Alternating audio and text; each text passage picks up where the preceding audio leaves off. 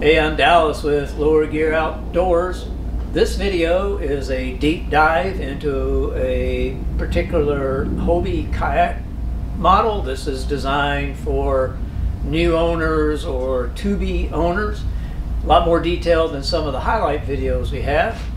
So this will be uh, 15 or 20 minutes to get into all the details. This particular model we're going to go through today is for the, will work for the Pro Angler 14 and the Pro Angler 12 in both the 180 and the 360 versions. Like most kayaks out on the market today, uh, the Pro Anglers are a rotomolded style, uh, rotomolded plastic created with heat and pressure. So when you store these or transport it, you do want to um, be careful of applying new heat and pressure to isolated spots or you can get little dents in it. Plastic manufacturing is never as precise as your car, for example. So while we try to get them out the door without scratching them, first time you bring one of these to store, you're going to get scratched up. But they are designed for all, all of that. You do want to take uh, particular care with them. If you have them in salt water, we'd recommend hosing them off, even though all the componentry on it is stainless steel.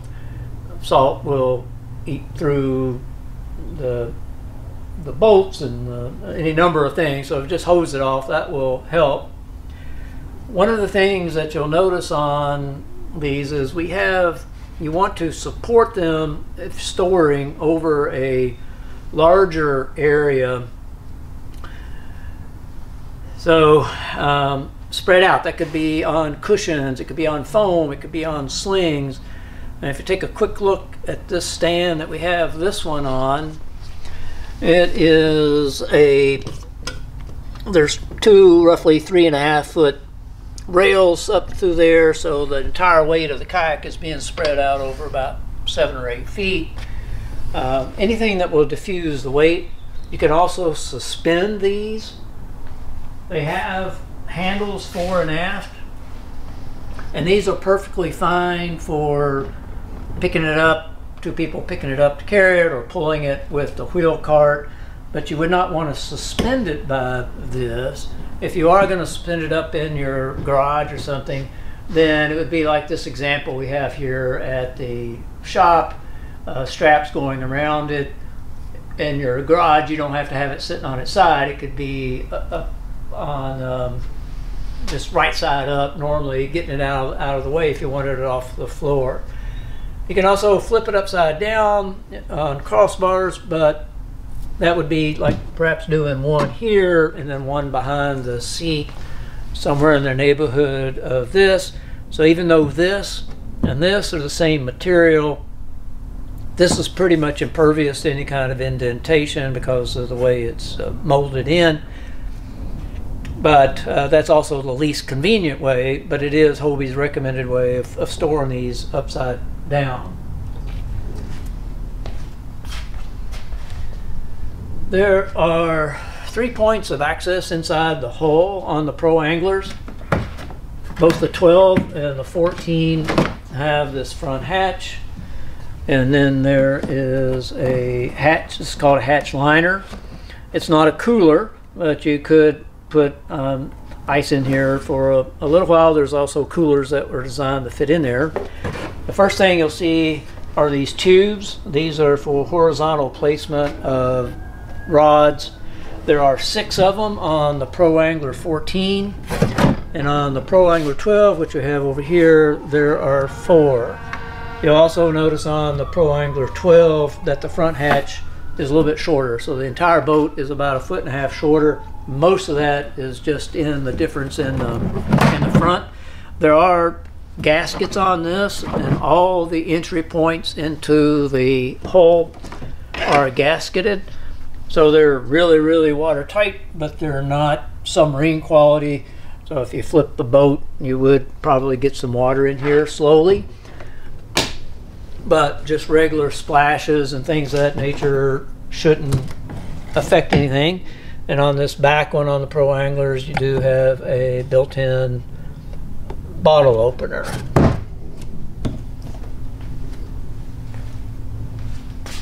Coming back up to the front, We have the the drive. This is the 180 drive, and this is the 360 drive. We'll come back to those later. You have standing pads to give you a little friction if you're standing to cast.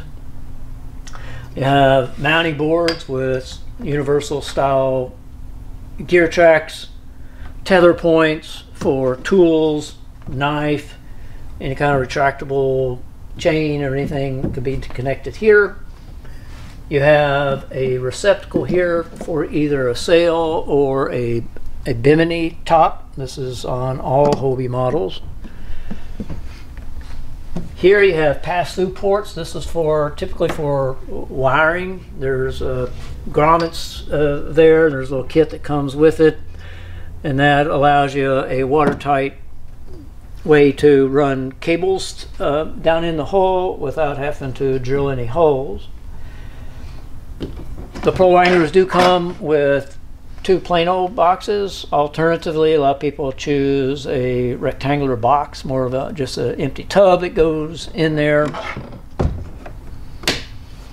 I'm going to come back to all these. Uh, you have controls for the transducer and the rudder. We'll come back to that. Under the seat, oh, I'll come back. These are called uh, map holders. It's a good place to put your phone and other other things uh, as well. You get two of those on either side. It comes with a 260 centimeter paddle, two part, and it also comes with a T-handle. If you want to minimize the use of real estate, you can use a T-handle. It'll go into the female side and you can leave this one in your vehicle. It's a taco clip style. There is additional security like that if you need it to keep it from bouncing around. Two molded in rod holders. The H-rail, again for additional mountings, there's any number of things that can be clamped on there. Typically it's going to be a rod holder up front or uh, your fish finder graph, any kind of mounts, cameras, anything of that nature. Any water that splashes over here, there's scuppers throughout under the seat and in the back in the rear tank well, and then any water that comes up front, most of it is just going to go straight down the drive hole.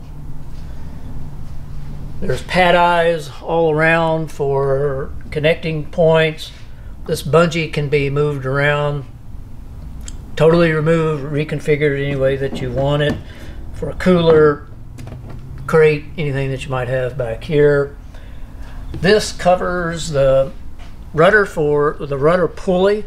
So you have handles left and right, and the pulley is going here. So if you ever need to tighten up any lines or uh, cable lines or anything for the steering, that is under here. And then finally in the back, we have the rear handle, additional H-rail. This is good for putting, if you have a 360 visible light and you want that as far away from you as possible. And then the serial number is going to be embedded in right here in the stern area. There are two drain plugs here. Um, you would only need to use those in the case of a whole breach or if you had left a hatch open and got a lot of water in. You'll also see these little black dots uh, on both both sides. Those are covering up embedded nuts, uh, primarily for an anchor trolley. One of the highlighted advantages of the Pro Angler is the seat. This is called a, a Vantage seat. It's probably the best one on the market with any with any kayaks. It's adjustable the level of recumbency, if you want to call it that. You can control it that way, this way. It goes up and down, and then it pops out, makes a really nice uh, beach or a camp chair. There's a, there's lumbar support as well. Looking at some of those features, the this functionality is controlled by these barrels. There's a ratchet in there, so that one controls the bottom this one controls the back. If you're going to paddle this, you might want it at more of a 90 degree angle. Some people like to pedal in more of a recumbent bike position.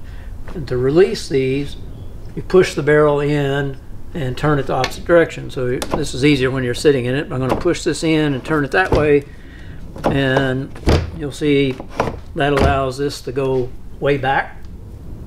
And then I can, I can bring that up and the same thing if I want to drop this down. It's just whatever's going to be a comfortable position for you pedaling. In the back here, there is, uh, this is a, a, tightening thing it's called a boa uh, restriction item, like boa like a snake. And you just turn it clockwise and it tightens up a strap. And that puts tension on here. And to release it, it's like a watch stem. I'm just going to undo it there. And when I push it, it's going to release it on its own. So again, to do that, that's giving it the lumbar support. A lot of people, it's just a set and forget, but if you're fidgety, you can adjust that as needed uh, as you over the course of the, the day.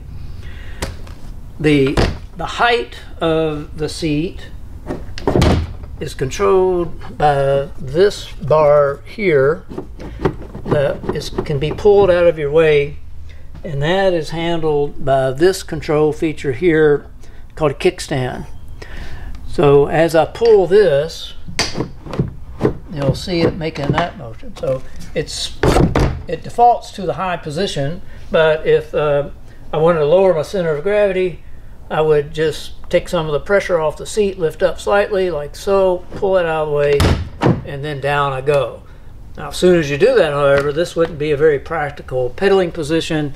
So I am going to drop the bottom of the seat down some and then bring that up. And that would be a more practical seating position.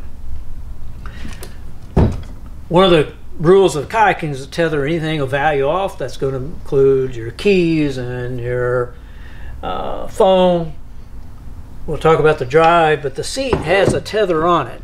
And so to undo that, and then the seat comes out like this, and now you have your beach or a camp chair. And then to put it back in, I'll put those feet in at an angle like that, and then lock it back into place right here and then this way I, I can't lose my expensive chair if the boat does take a spin sideways or something. There is another standing option that you have with this. If I remove this, which is holding the bottom of the seat, if I just pull that down, this will come here and then I can stand here, push my legs out this way and in the back and I'm fully braced in on three sides. This is an option if you like to stand and cast.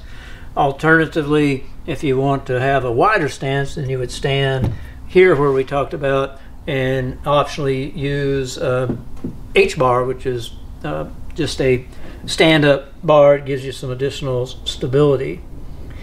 I'm going to take a quick look underneath here. We didn't get to see earlier.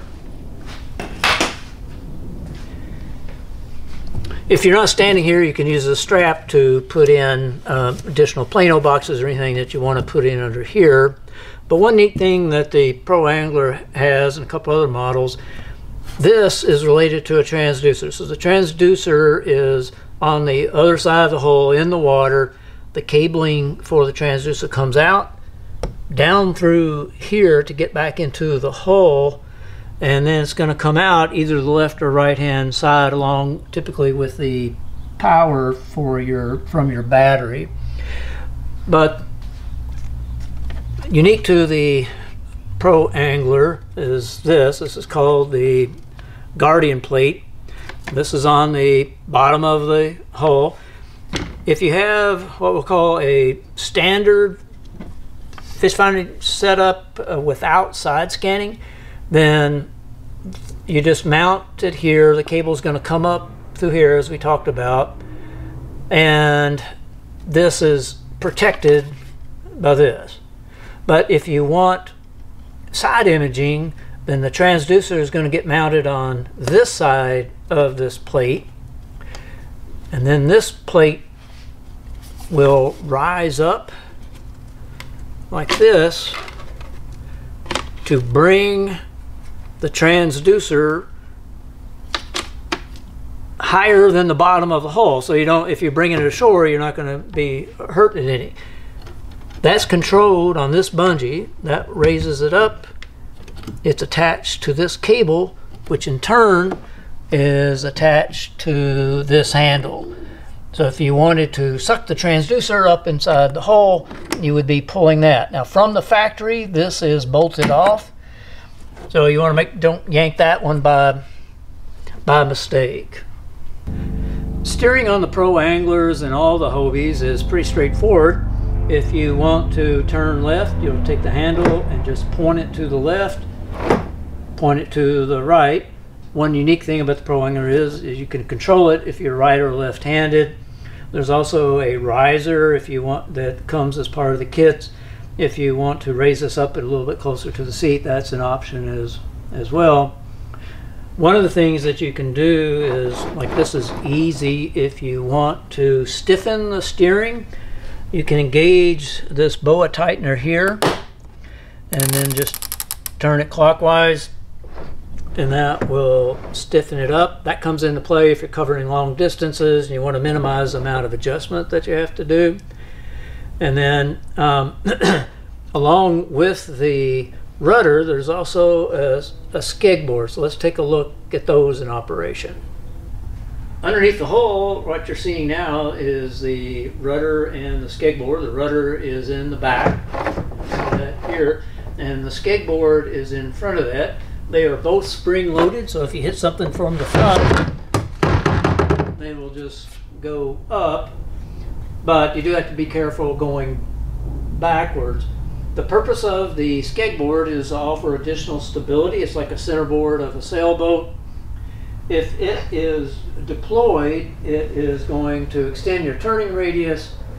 Um, so if you're in tight quarters, you may want to raise it. If you're going to stand and cast, you may want to drop it.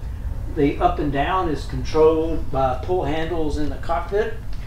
This will raise the skeg board up and recess it inside the hull and this will do the rudder.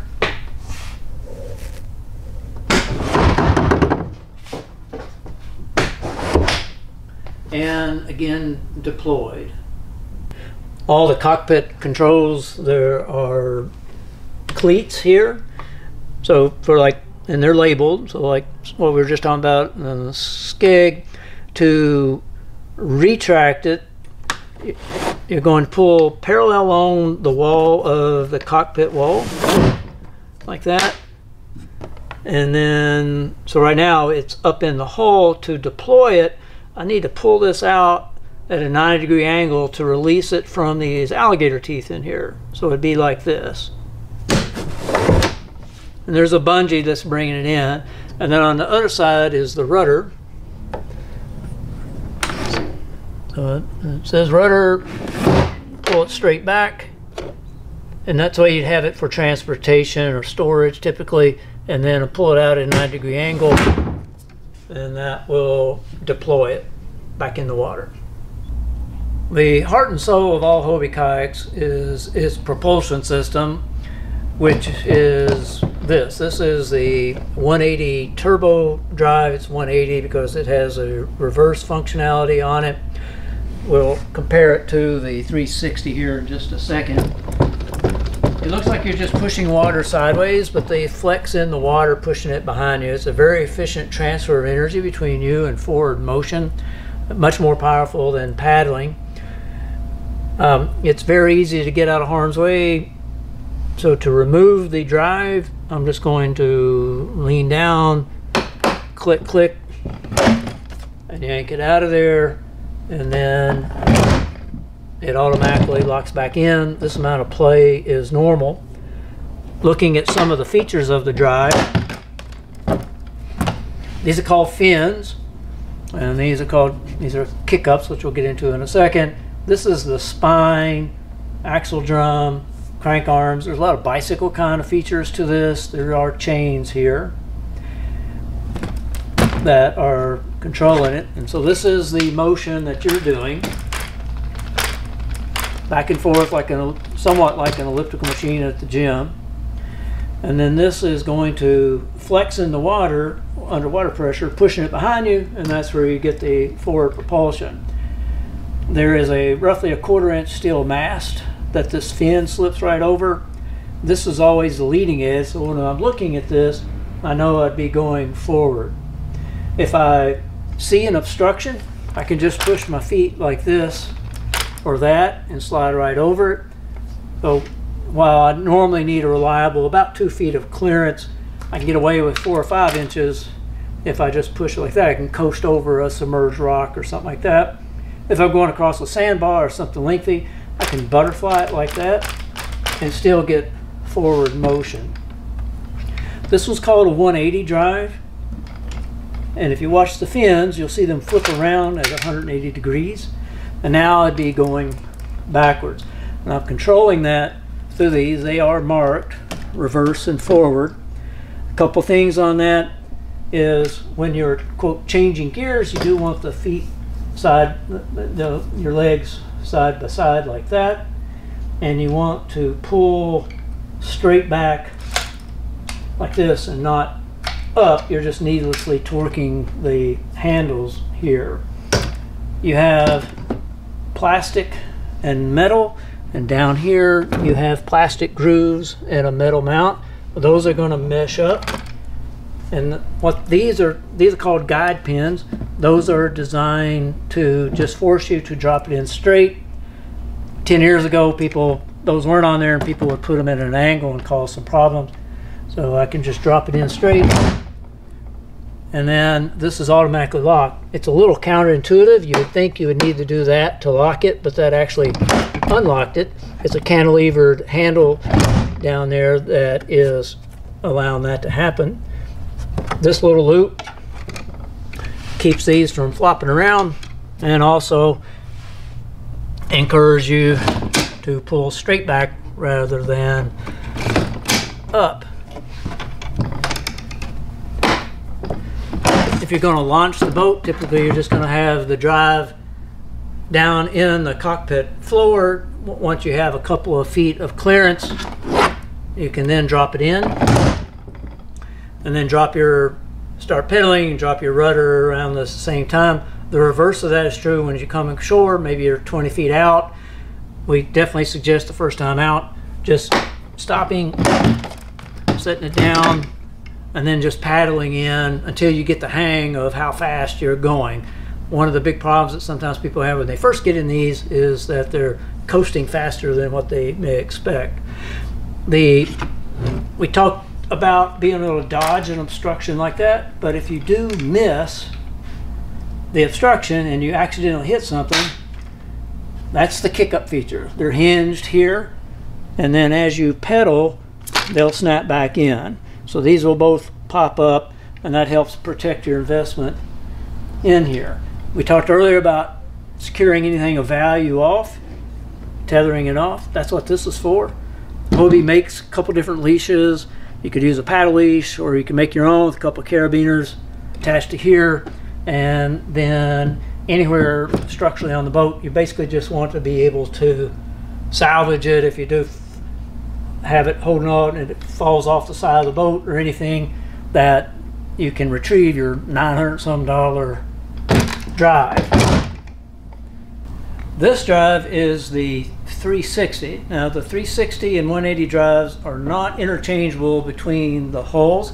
They are interchangeable between the 12 and the 14, but they are unique. So you can see the hole in the hull for the 360 drive is a lot different than the hole in the hole for the 180 one. So they're not interchangeable. But just real quick on some of the feature differences between it, as a 360, instead of just being limited to forward and reverse, you can actually go at any increment in between. Thus, that's why it's called the 360 drive. You still have the kick-up features. It's still a back and forth motion like that. But you're controlling that, there is a third handle on the 360 models, and that is on the left-hand side of the seat. So this one is your rudder that we've already talked about. This one is the one that controls the movement of the direction of the drive.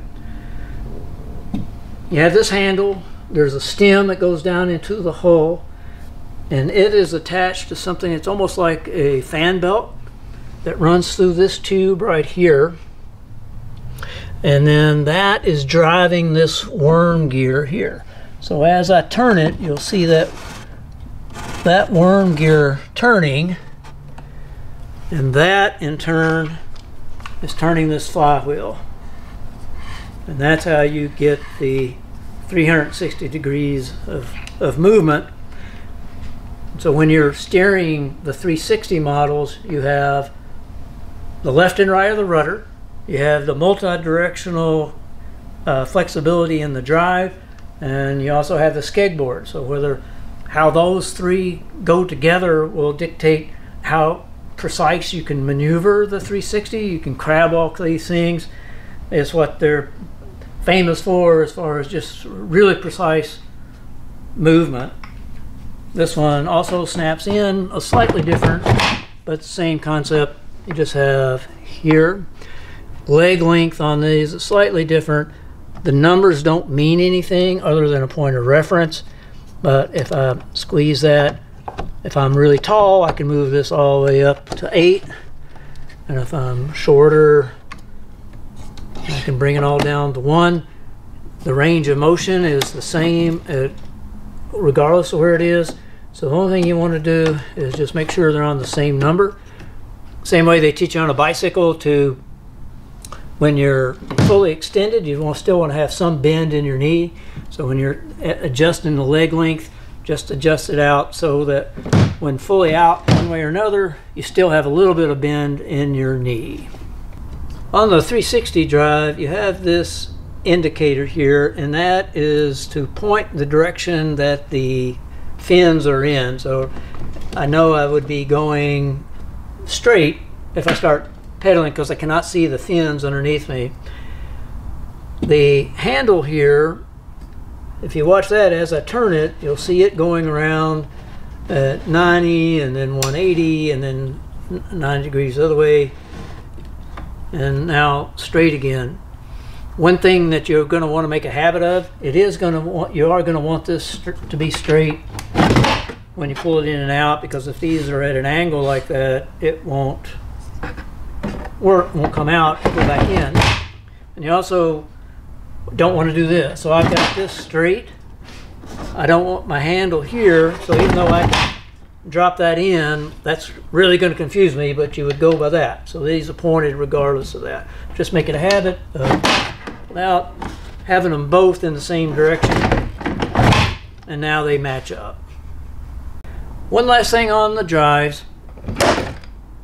When you have it out, we talked about that you could do this to go over an obstruction, but you may never need it.